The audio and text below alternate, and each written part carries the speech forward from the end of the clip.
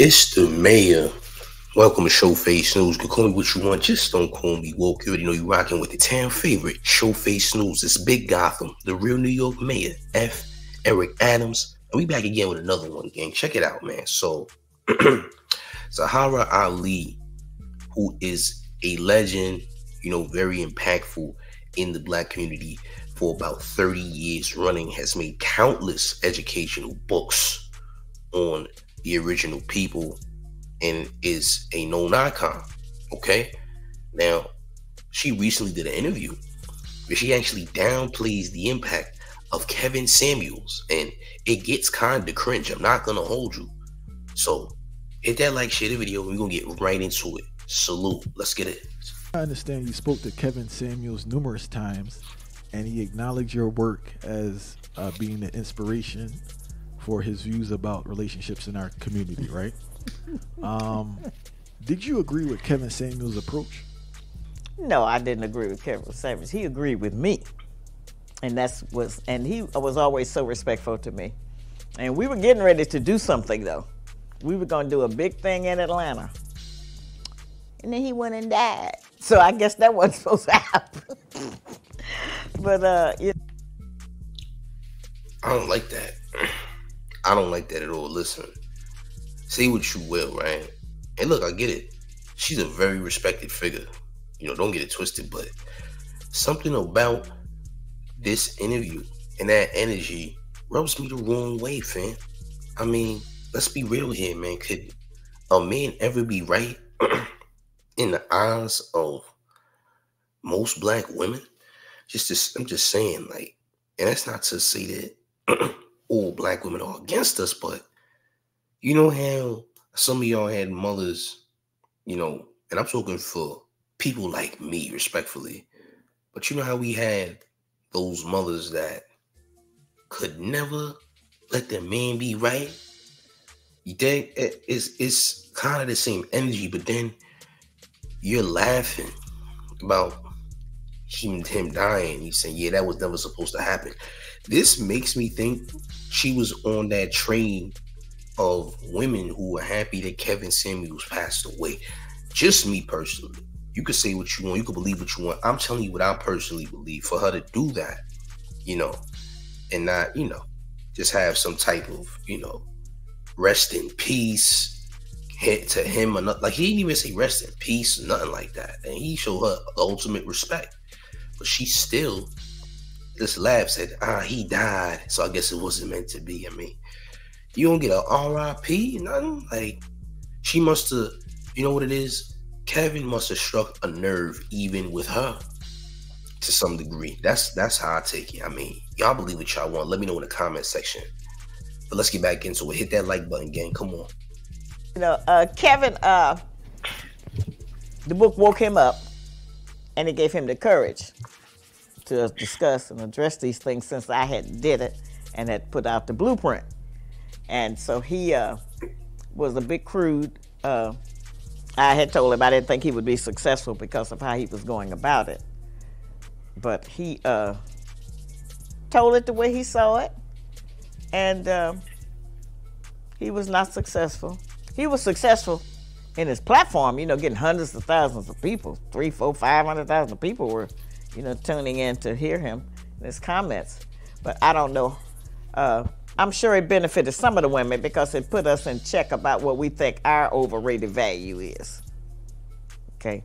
And we think we have a greater value because we think that we are in charge of sex. Okay, and most men will just about do anything or go along with anything if they think that. Well, that's changing. okay, that uh, is not all completely the way it it, uh, it was this is the thing I wanted to mention, and I don't usually talk about this. So she says he was unsuccessful, but successful with his platform. Wouldn't that be one and the same? I mean, I guess she's talking about impact wise. I mean, let's be real.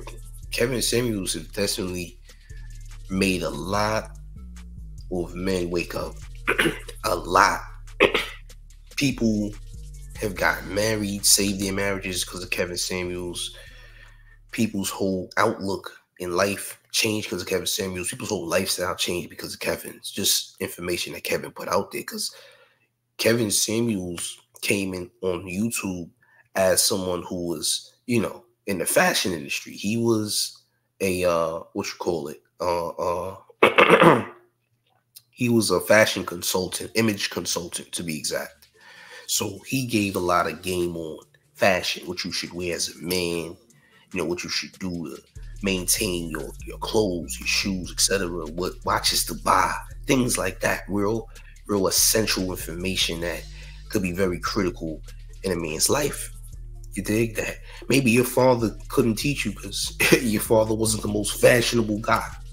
You dig? So Kevin came in the game like that. That's how we started out. Then it, the whole manosphere thing came into play after the fact, which would ultimately make him, you know, go crazy you know what I'm saying? And put him on this plateau to where he's literally running the algorithm, you know, on another level. You feel me? So that's what happened. His impact to this day is still very crazy. I ain't gonna lie, man. He's changed a lot of men's lives. Just keeping it a thousand, but she probably don't see it that way. But hit the like button, share the video. We gonna keep it going. When I say that we're living in trends, the messenger talked about when we get out of control too savage that we live in a beast life. Okay. Our younger people, that's that children of the future there, are living somewhat of a beast life. Because the new trend now, and I only know about this because they put it out there in the public on the Instagram and the internet and on the uh, Facebook and everything. Uh, one of the things that scientists say separates the humans from the animals is that humans mate face to face. Animals mate from the rear. Well, it's popular now that that's what they're all doing, mating from the rear and doing all kind of other distasteful things and calling it sex. That's a bad sign. Okay.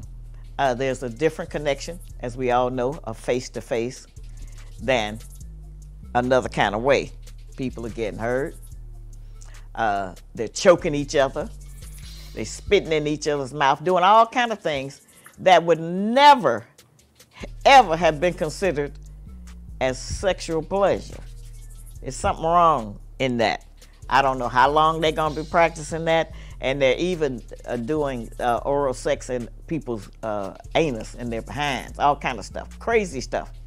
And I'm talking about it because we need to know and we need to start trying to teach something differently. I ain't gonna lie. Man, this has been going on for centuries. Anything under the sun, as far as intercourse is concerned, has been happening. is there a right or wrong way to pleasure another person or yourself? Because, like I said, this been going on for, for quite some time. This has been happening for ages. You could look inside pyramids and see what exactly people have been doing as far as intercourse is concerned. I'm just keeping it a G with y'all. Just facts. Now she might disagree, and it's fine. You know, but I'm just saying I don't disagree with the spitting of the mouths and in the mouths and all. that. y'all seen the Kevin Gates thing when he spit in that girl mouth. Ugh. Nasty work. Not for me personally, but these type of things have been done for for ages. I'm gonna keep it a thousand. Y'all hit the like, share the video. Let's keep it going, okay? Come on. Okay, that's not no love. That's not no showing of love. It's uh, that's something crazy. And uh, the girls are accepting it. Young women are being choked, or somebody spitting in their mouth uh, all kind of insanity things, and they calling it sex. That ain't no sex. I don't know what kind of beast life that is, but that's another trend that I hope passes, because that's taking it to such a low level. Where can it go after that? And how long then will generations think that that's affection? So that's a very bad sign, I think.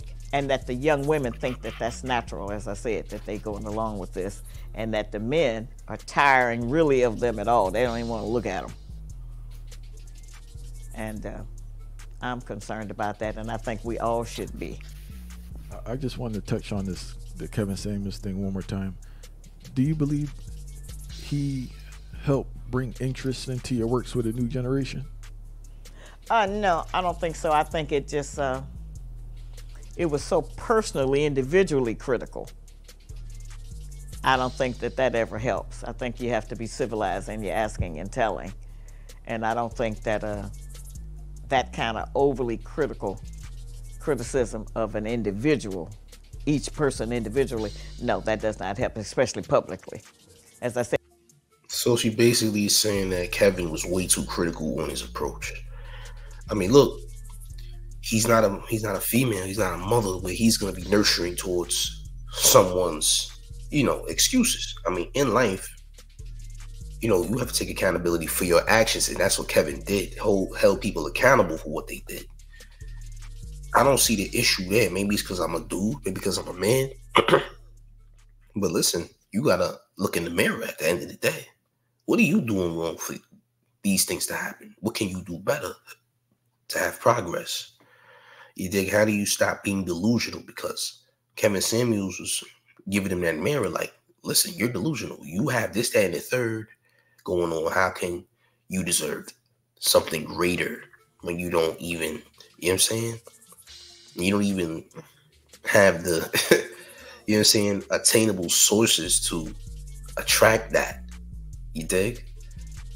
So I think she she kind of feels like, you know, Kevin is below her. Just my opinion. And that he was attacking when he wasn't. And everybody got their own, you know, aspect, you know, their own perspective on things, especially with Ke- what Kevin Samuels was doing. I don't disagree with nothing Kevin did because people tried to attack Kevin, and you know, people were literally going to Kevin looking for advice, looking for his opinion. So, how is he wrong? You dig? And it's kind of narcissistic to think that he should do things in the way that you see fit because let's just keep it 100. We all are our own individuals and we do our own things. So, how in the world could you, you know, and look at the smiling, like you got to peep the body language, the smiles, like it's like she's downplaying him and everything he's done because he's like nobody. Look at me, pretty much. I'm just keeping it a thousand. You could agree with what you want to agree. I don't even care if she is an icon in the black community. I'm just gonna keep it a thousand with you because I don't care what nobody got to say. I know what I'm saying. Respectfully. Hit the like, share the video. Let's keep it going. We already got low self-esteem, and that don't mean build us up on some false bravado. I don't mean that, but I mean we just have to be more gentle with each other. We are damaged creatures. Let me uh, reword it. I apologize. I was I wanted to ask, do you think his work brought more attention to your book with a new generation, with a younger generation that probably didn't know? About I'm not sure. See, the other thing is, remember, we're in a society where they're teaching against reading. All right, everybody either want to hear it or see it. So reading is not as popular. So I'm not sure if it worked that way. Uh, my sales have been impacted on a lot of things. You know, that must be 50 books out called The Black Man's Guide and The Black Woman's Guide. You know, so many people have copied, you know, my title. Uh, so I'm not sure it, it worked that way. I'm still selling books, and he's still, I'm sure, there's still brothers out there now trying to take his place. So uh, that that's just, you know, the way that turned out. Uh, he got me, I think, more attention for me, toward me as a writer, as a sister, you know. But uh, I know my place in the world, and I'm just a woman. That's not an insult. That's not a put down. But I am not a man. See, God is a man. You represent God, and I tell black women the closest you may ever get to God is being with a black man, because he looks more like you than me. And uh, we have so many things out here affecting our respect and image of self. That's the other reason black women don't want to believe that the black man is God, because they think the black man they know ain't nothing and that y'all ain't nothing, so there ain't no way you could be God. In fact, you have some brothers who have surrendered and they walking around talking about the black woman as God. Some more absurd, silly nonsense that, that we start? waste our time on. When did that start? This notion that the black woman was God. Well, they just have surrendered. It can't be me because I can't do nothing. I ain't got nothing and look like she more successful or whatever. And so we just decide then she must be God. That's what a man do. I don't know no man that would decide that. And I try to correct every brother I run into about that. They think they complimenting me by saying the black woman is God. But I'm not God. And I don't want that job. Okay, I got enough to do. I don't want to be, I don't want that responsibility, and I don't have that power. I, I wanted to touch on before we get to the last two questions. I want to touch on something you said where you said uh, black women they don't see much in black men, right? And from personal experience, what I noticed that even if you're uh, I don't know these terms they use, highly performing, even if you're just a, a great guy, right? They still He wants to be, I guess he says, wants to say high value man to be exact. It seems. can't see the greatness in you. They still what? They still struggle to see the greatness in you if you're Oh yeah. person. Well, as I said, that's we've been all taught against each other so hard. We have to talk more.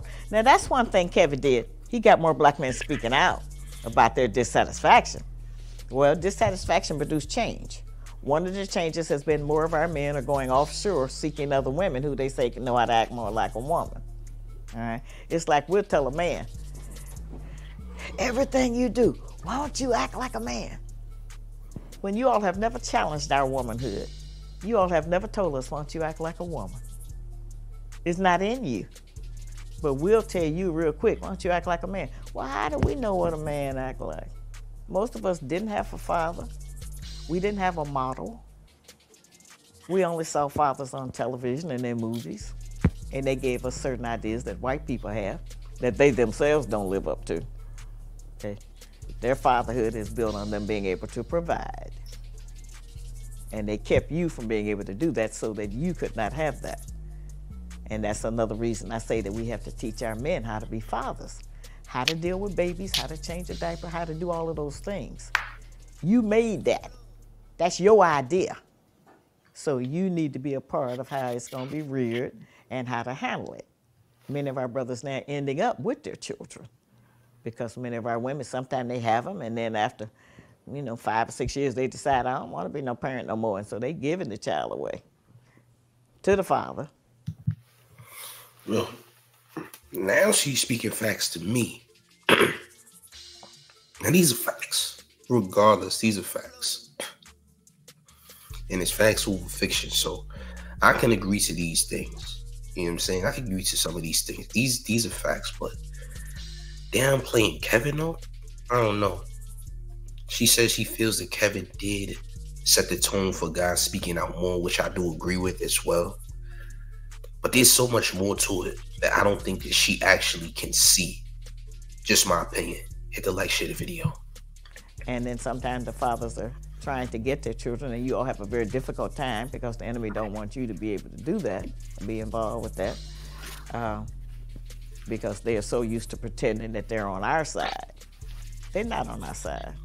The white woman is not on our side because we also think that she's nicer, it's better to deal with her. That's his mother.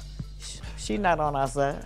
I was gonna ask. That's uh, his mama. Uh, there is the idea floating around, uh, guys. I know interracial dating for numerous reasons. So I'm not saying every black man with a black uh, white woman has a uh, views the white woman as superior. I don't want to say that. I don't know if that's the case, so I won't say that publicly, right?